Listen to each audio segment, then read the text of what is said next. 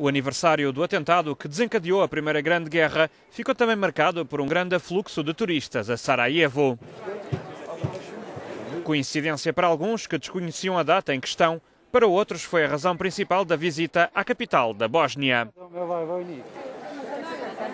Um turista dinamarquês explica que tinha marcado o hotel há um ano para estar aqui no centenário, alojado em frente ao local onde tudo aconteceu. Outro turista húngaro diz que não sabia que tinha sido exatamente neste dia, mas os meios de comunicação não falam de outra coisa e por isso veio ver os eventos que decorriam no centro de Sarajevo.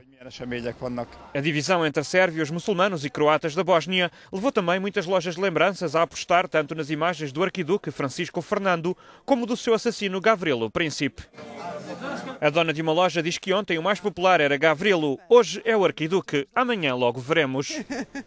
A correspondente da Euronews, Andrea Ayagos, afirma que pessoas de diferentes partes do mundo vieram a Sarajevo para o aniversário. Apesar da guerra dos anos 90 não ter ajudado nas relações entre as nações dos Balcãs, também foi possível encontrar turistas dos países vizinhos.